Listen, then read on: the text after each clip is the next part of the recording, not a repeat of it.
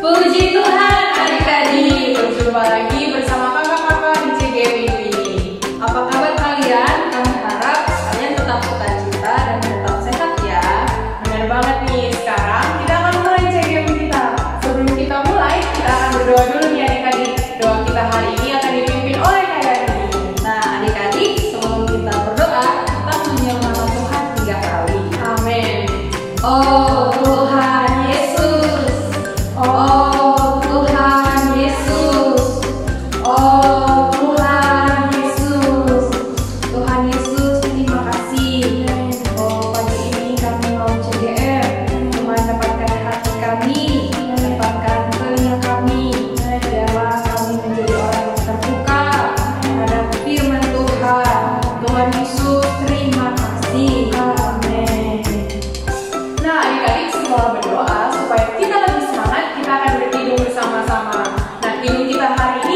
diambil dari mana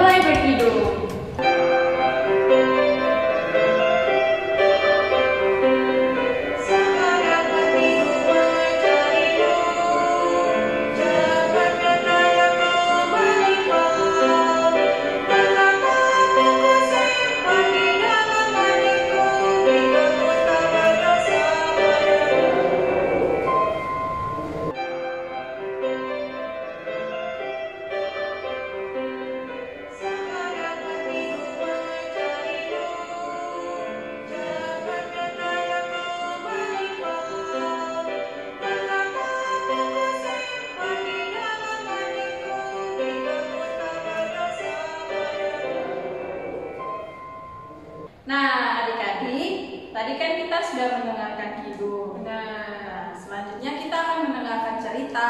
Nah, cerita kali ini akan dibawakan oleh Kak Indah. Adik-adik, dengan baik-baik ya cerita dari Kak Indah. Halo adik-adik, puji Tuhan, ketemu lagi dengan Kak Indah. Nah, hari ini Kak Indah mau cerita tentang firman Tuhan. Sebelum mendengarkan cerita, kita berdoa sama-sama ya. Tuhan Yesus, terima kasih Tuhan. Hari ini kami masih boleh mendengarkan perkataan firman-Mu. Terima kasih karena firman-Mu terus memberikan terang dan hidup kepada kami. Karena itu bukalah telinga kami Tuhan, supaya kami mengerti tentang perkataan-Mu hari ini. Terima kasih Tuhan, di dalam namamu kami berdoa. Amin. Puji Tuhan, ada masih suka cita? Tadi sudah menyeru nama Tuhan, sudah bernyanyi, berdoa bersama-sama. Sekarang kan gilirannya dengan firman Tuhan. Nah, adik-adik baik-baik dengan firman Tuhannya ya, karena nanti di akhir akan ada pertanyaan. Nah, hari ini Kak Ina mau cerita tentang satu tokoh namanya Alia. Siapa? Alia, betul. Nah, ya ini berasal dari satu negara yang sangat jauh dari Indonesia ya, sekitar 6.812 km. Jauh ya? Jauh sekali. Kalau ditempuh dengan pesawat, kira-kira 8 jam adik-adik. Hmm, siapa yang pernah naik pesawat selama itu? 8 jam. Banyak ya. Nah, lama nggak? Lama. Nah, negara ini namanya negara Uzbekistan ya jauh dari Indonesia. Nah sudah kalian dengar ya oh, ada satu negara yang jauh sekali dari Indonesia, tapi di sana ada satu tokoh yang nanti kalau kalian dengar ceritanya pasti bersyukur karena negara yang begitu jauh pun Tuhan masih ada jalan untuk membawa orang bisa percaya Tuhan. Nah Alia ini ada seorang uh, keluarga yang dididik dalam agama yang begitu ketat ya uh, dengan sangat uh, banyak peraturan sehingga membuat dia bingung. Papanya ini adalah seorang Tartar dan mamanya seorang Makedonia Yunani gitu. Tapi suatu hari adik-adik uh, Alia uh, mendengar firman Tuhan dari mana? Dia dipanggil oleh temannya untuk datang ke rumahnya. Nah saat itulah Alia ini mendengarkan firman Tuhan. Saat dia mendengarkan firman Tuhan, dia mulai bertanya-tanya dalam hatinya ya. Bertanya Tuhan, jika di seluruh alam semesta ini ya banyak orang yang mencari Tuhan dan percaya kepada Tuhan Yesus, lalu selama ini aku menyembah Allah yang bagaimana? Sia-sialah apa yang aku kerjakan selama ini ya. Nah di saat itulah Tuhan memberikan perasaan kepada Alia bahwa ya betul kamu harus percaya kepada Tuhan gitu. Karena itu sampai suatu hari Alia mendengarkan Injil dan puji Tuhan, Tuhan membuka hatinya sehingga Alia bisa percaya kepada Tuhan. Nah, setelah dia percaya Tuhan, adik-adik Alia itu semangat sekali. Dia memberitakan Injil ke mana-mana. Dia memberitakan Injil ke desa-desa. Ya, dia pergi sampai suatu hari Dia sedang memutar film tentang uh, siapakah Tuhan Yesus ya. Dan banyak orang melihat. Tiba-tiba ada beberapa orang mabuk tuh datang gitu ya. Nah, adik-adik tahu kan orang mabuk gitu ya. Poyongan datang terus marah-marah. Siapa yang uh, memperbolehkan kalian memutar film ini? Eh, ini sebenarnya takut adik-adik karena bisa saja nih kan orang-orang mabuk pukul-pukul atau merusak semuanya. Tetapi puji Tuhan, karena hikmat Tuhan, Alia tidak takut. Dia malah bilang sama para pemabuk ini, semua duduk dan mendengarkan juga menonton film ini. Eh, yang orang-orang mabuk tadi nurut dan mereka dengar lalu beberapa orang ya setelah mendengar film itu percaya kepada Tuhan.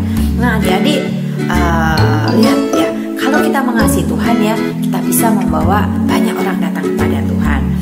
Adik-adik setelah uh, percaya Tuhan, membawa banyak orang datang kepada Tuhan ya. Hari Alia mendengar ada satu buku yang cukup baik ya untuk bisa membantu pertumbuhan rohaninya ya. Dan buku ini dikarang oleh Nee. Kita juga membaca buku ini, Kak Indah juga baca buku ini dan benar buku ini memberi bantuan rohani yang sangat baik kepada kita semua. Kalau adik-adik di rumah punya buku karangan Nee boleh dibaca ya coba tanya sama orang tuanya ya nah buku ini sangat baik nah adik-adik tapi uh, ketika Alia mendengar buku itu sangat baik kan dia bingung dia cari di mana. Tiba-tiba ada yang memberitahu bahwa buku ini bisa diperoleh di satu kota. Namanya kota Moskow. Di mana lagi itu? Nah kota Moskow ini adalah di daerah Rusia. Ya pernah dengar? Ya kalian beberapa pasti pernah dengar ya.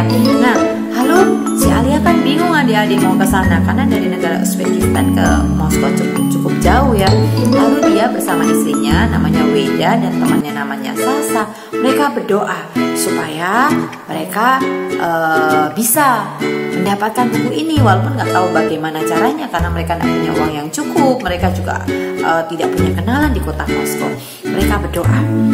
Mereka berdoa terus menerus ya sampai suatu hari si Sasa temannya ini mendapat kerjaan di kota Moskow gitu. Lalu si Sasa pergi ke kota Moskow dan dia bekerja di sana dengan gaji yang lumayan tinggi dan setiap bulan adik-adik karena uh, si Sasa ini bekerja ya dia menyisihkan uangnya untuk membeli beberapa buku Watchman ya.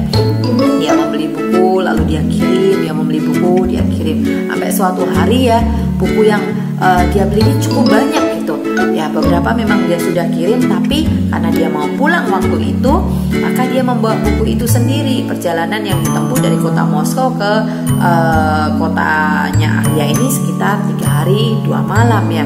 Nah dia senang banget tuh. Kira-kira buku yang dia bawa itu satu karung besar 50 kilo. Berat gak adik-adik? Berat ya. Tapi karena dia senang nih dapat buku maka dia suka cita bawa buku ini. Sampai dia tiba di kotanya dia harus melewati satu uh, pemerintahan yang namanya bea cukai adik-adik. Nah di bea cukai ini dilihat kamu bawa apa? Ih bawa buku banyak banget gitu ya lihat buku-bukunya. Uh, nah para pegawai bea cukai ini bilang karena buku ini belum terdaftar jadi nggak boleh dibawa pulang gitu. Terus si Sasa ini kan sedih ya adik-adik karena dia bekerja dia dapat gaji dia sisihkan uangnya itu untuk membeli buku. Tapi tidak boleh dibawa pulang ke rumah. Ada yang pernah mengalami itu Ketika mungkin kalian pergi ke luar negeri ya beli sesuatu gitu, tapi tiba-tiba barangnya nggak boleh dibawa pulang, pasti sedih ya, seperti Sasa ini. Nah, karena dia sedih ya, dia memberitahu temannya si Ali dan Wedanya mereka berdoa. Nah, ketika mereka berdoa, mereka ada pimpinan untuk kembali ke kantor bea cukai. Nah, di situ ya ada satu peraturan bahwa buku-buku yang belum diizinkan masuk itu akan dibakar atau apa pun itu ya barang-barang apa pun yang belum diizinkan oleh pemerintah uh, keluar dari kota itu kota Moskow maka akan dibakar. Mereka sedih adik-adik kok dibakar ya? Itu buku-buku mereka gitu. Tapi mereka tidak mau bakar. Mereka mengajukan permohonan ya bahwa mereka bilang kami ini orang yang taat hukum gitu ya. Terus itu kan buku kami kenapa harus dibakar? Tapi tetap saja tidak dilepaskan oleh para staf bea cukai itu mereka pulang mereka doa sampai suatu hari adik-adik mereka ada satu perasaan damai bahwa uh, ya sudah tidak apa-apa buku ini dibakar aja. Karena kalau uh, mereka tidak ada tanda tangan ya mereka tidak memberikan tanda tangan sebab buku itu dibakar mereka tidak bisa keluar masuk dari kota dari negara Uzbekistan ini ke Moskow. Itu sangat merugikan gitu. Lalu mereka bersama-sama ya pergi ke cukai Alia dan istrinya ini gitu. Lalu mereka bilang uh, ya kami akan menandatangani uh, buku itu boleh dibakar bea cukainya bingung. Memang kamu nggak mau itu lagi? Gitu ya.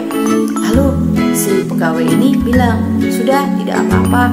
Uh, mari uh, kamu pergi ke arah sana. Nah adik-adik tiba-tiba mereka melihat ada satu tumpukan buku yang di karung. Terus mereka bilang ini buku ini sudah diizinkan bawa saja pulang. Dan saya juga sudah menyediakan mobil untuk kalian pulang. Nah lihat adik-adik ketika mereka berdoa Tuhan membuka jalan bahkan Tuhan memberikan yang terbaik ya. Tidak saja buku bahkan sudah ada transportasi untuk mengangkut buku itu untuk mereka pulang ke rumah ya.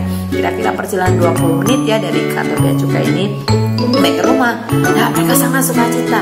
Sampai di rumah mereka membongkar karung membongkar koper dengan sangat hati-hati ya. Mereka melihat wah buku ini luar biasa. mereka buku itu adik-adik mereka senang sekali nah sampai suatu hari mereka semua harus pergi ke kota Moskow dan mereka uh, bertemu dengan beberapa kaum beriman di sana mereka bisa sharing mereka bisa saling berbagi mereka bisa saling uh, memperkenalkan betapa mereka bersuka cita karena percaya Tuhan.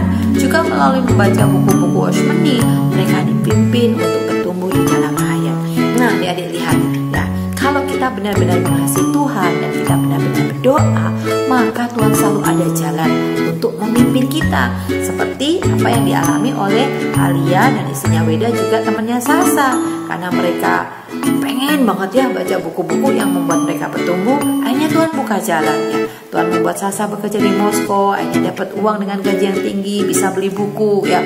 Meski bukunya ditahan, akhirnya juga bisa uh, dikembalikan. Itu semua karena pimpinan Tuhan adik-adik. Kita melihat adik-adik dari cerita ini bahwa apa kita harus belajar nih dari Alia ya.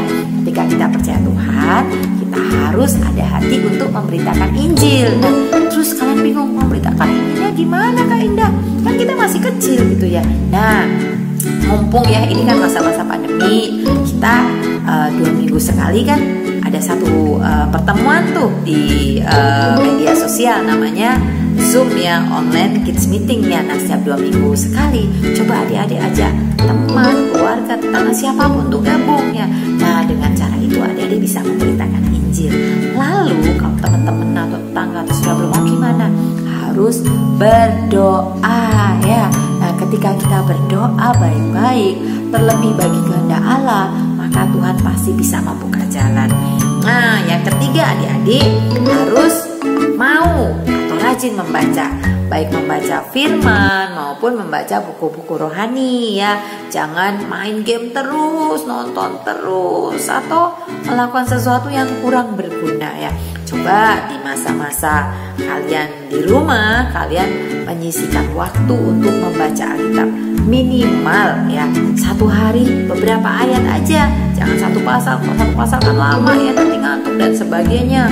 Buat alasan lagi nggak bisa nah adik-adik coba sekarang berjanji nih sama Tuhan berdoa Tuhan aku mau belajar membaca Alkitab satu hari minimal satu pasal. Ya bisa pasti kalian bisa ya kalian harus belajar demikian khususnya mereka kalian yang sudah sekolah nah adik-adik dari cerita ini Kak Indah uh, punya tiga pesan nih untuk kalian yang pertama harus belajar memberitakan Injil atau mengajak teman-teman ke sidang anak-anak, ke CGM, berdoa bersama, membaca Alkitab bersama. Nah, yang kedua harus rajin berdoa. Berdoa apa? Berdoa apa aja? Khususnya berdoa untuk mbak teman-teman datang kepada Tuhan. Yang ketiga harus rajin baca Alkitab ya. Tiap hari harus baca Alkitab. Nah, kalau nggak bisa sendiri, bisa aja kakak, bisa aja cici, bisa aja uh, papa, mama, dan siapa pun yang menemani kalian ataupun gembala juga boleh ya. Kalian boleh telepon nih sama cici koko atau kakak-kakak yang melayani semoga adik-adik dari cerita Alia ini kalian semua terdorong menjadi adik-adik yang mengasihi Tuhan, memberitakan Injil, berdoa, juga membaca firman Tuhan. Baik, puji Tuhan. Uh, firman Tuhan sampai di sini. Semoga adik-adik semangat ya. Semangat apanya? Semangat memberitakan Injil, semangat berdoa, juga semangat membaca firman Tuhan. Puji Tuhan, nanti akan ada pertanyaan dari Kak Ingrid. Kalau kalian dengerin baik-baik ceritanya, Yesus memberkati. Sampai jumpa beberapa minggu depan. Bye bye. Nah, adik-adik, hari ini kakak akan bacakan pertanyaan yang bisa adik-adik jawab di rumah ya. Simak baik-baik pertanyaannya ya adik-adik. Pertanyaan pertama, siapakah tiga orang tiga orang yang mengasihi Tuhan dalam kisah hari ini? Bagaimana ayah bisa percaya Tuhan? Pertanyaan kedua, apa yang perlu kita teladani dari sikap ayah setelah dia percaya pada Tuhan? Bagaimana ayah menceritakan uh, tentang Tuhan Yesus kepada teman-temannya? Pertanyaan yang ketiga, peristiwa menegangkan apa yang pernah terjadi ketika dia pergi ke desa-desa untuk mengabarkan Injil? Pertanyaan terakhir, pertanyaan yang keempat, untuk apa Sasa menghemat uang yang didapatkan dari bekerja? Dia mengirimkan buku-buku ke mana saja adik-adik? Adik-adik bisa menjawab pertanyaan ini di rumah ya.